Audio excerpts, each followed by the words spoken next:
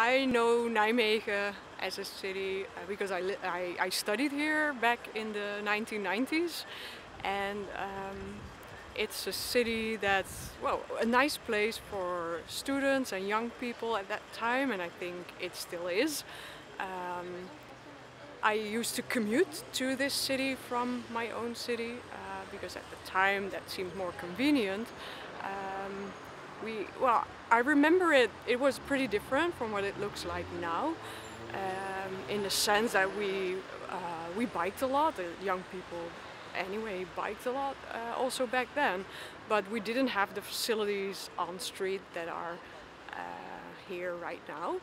Yeah so compared to the 1990s you see a lot of uh, protected bike lanes you know now the the fast cycle lanes are the latest thing. So back in the day there nobody had ever heard about that or thought about this idea of, of you know faster connectivity and, and smoother rides for everybody who's a bit further out of the city.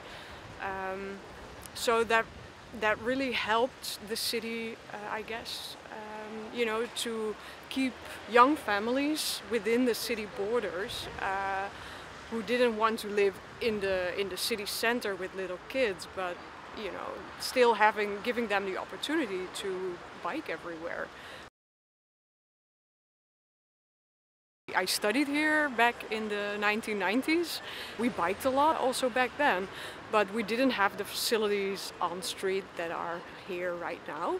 Compared to the 1990s, you see a lot of protected bike lanes. Now the, the fast cycle lanes are the latest thing. So that really helped the city to keep young families within the city borders who didn't want to live in the in the city center, giving them the opportunity to bike everywhere.